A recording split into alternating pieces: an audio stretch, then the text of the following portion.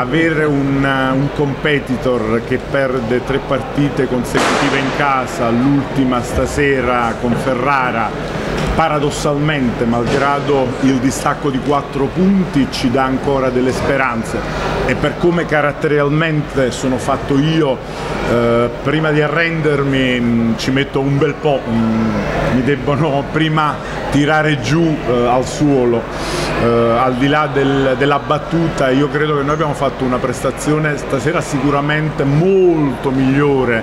ehm, delle, eh, delle tre precedenti con la mia guida tecnica nel senso che abbiamo pareggiato per larghi tratti del match la intensità che avevamo mostrato eh, 15 giorni fa in casa con Trieste. Eh, abbiamo giocato una partita molto migliore da un punto di vista dell'organizzazione offensiva rispetto a quella partita e le altre due quella a Bologna e quella in casa con Recanati che oggettivamente eh, reputo molto molto negativo. Eh, si tratta in questi casi di aggrapparsi a dei segnali eh, anche piccoli, anche minuti di vita. Il finale di campionato è risaputo, possono ehm, determinare delle sorprese, noi dobbiamo essere pronti a cogliere eventualmente le possibilità. È chiaro che se hai da recuperare 4 punti devi augurarti anche che il tuo avversario perda oltre che vincere te però i segnali stasera sono positivi anche se bisogna assolutamente oltre che fare, ehm, dare il giusto merito a Legnano eh, rimproverarci una prestazione difensiva a tratti eh, non intensa come lo è stata in altri frangenti.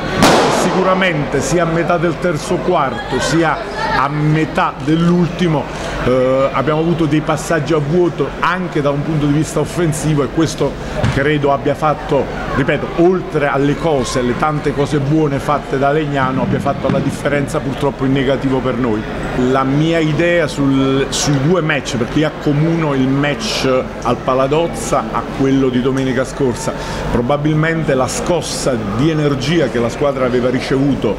dal, da prima lavorando intensamente in preparazione del match di Trieste e poi dal successo, per carità del cielo, anche fortunato, non, non mi piace di fare eh, non riferimento a degli aspetti che nel basket e nella vita sono comunque incidenti. Eh, aver fatto eh, 3 su 3 negli ultimi tre possessi in quella partita lì è stata bravura ma è stata anche una capacità di trovare la soluzione fortunata. Ecco, probabilmente ehm, aver dopo quella partita lì, aver avuto una settimana con due altre partite che ci ha negato di fare quei passi in avanti nell'esecuzione dei giochi che stasera seppur in forma timida abbiamo mostrato, idem eh, da un punto di vista difensivo a tratti siamo stati buoni, in altri tratti assolutamente inguardabili, però era un motore che sicuramente stava provando a rimettersi in moto, ecco, siamo stati non fortunati sicuramente nel finale di partita con Trieste, non fortunati di non poter fare una settimana normale di allenamento. Stasera con tutti i limiti che abbiamo nel, almeno abbiamo portato avanti un piano partita e i giochi in una forma eh, che è quella necessaria, prendere un vantaggio e mantenerlo con le spaziature e con delle linee di passaggio adeguate. Per noi in questo momento sono dei buoni passi in avanti, c'è bisogno che facciamo qualcosina in più perché eh, la situazione è oggettivamente molto molto difficile, però ribadisco per l'ennesima volta il concetto, per come sono fatto io eh, mi arrenderò se ci sarà da arrendersi solo a giochi fatti, non certo in, questo, in questa situazione in cui Recanati continua a perdere eh, match casalinghi. Tensione è impossibile che non ce ne sia perché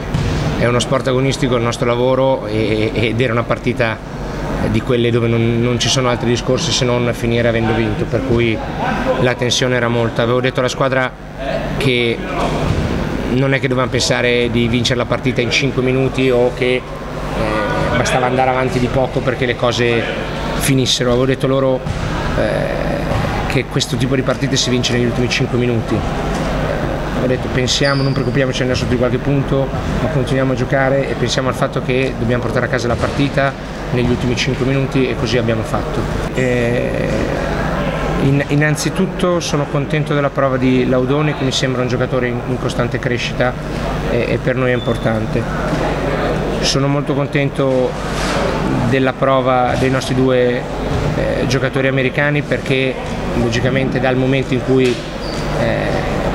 Frassini è tenuto a mancare noi abbiamo responsabilizzato di più loro chiedendoli pentole e coperchi oggi hanno fatto sia cifre che impatto visivo una partita importante in due alla fine fanno 45 punti 25 rimbalzi e per noi non è poco. Eh, per il resto eh, noi dobbiamo recuperare al meglio Palermo perché eh, continua a giocare infiltrato e senza allenamenti.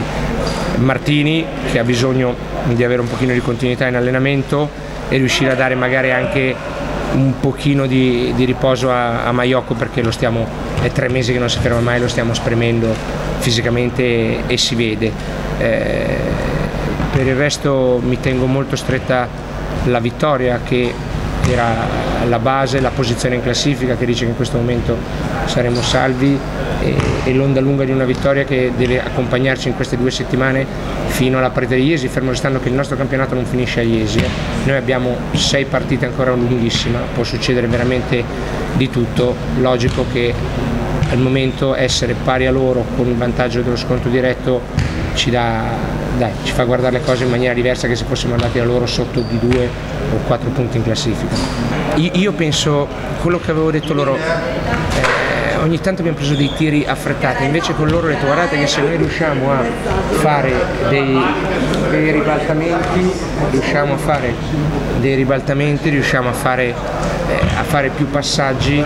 eh, noi portiamo a casa dei tiri facili come spesso è, è accaduto. l'altro dato che mi conforta è avere una volta tanto vinto la battaglia a rimbalzo e non aver concesso loro più di tanti rimbalzi offensivi che per noi è un problema che abbiamo dall'inizio, lo avevamo anche quando vincevamo, per cui bene, sono contento di questo.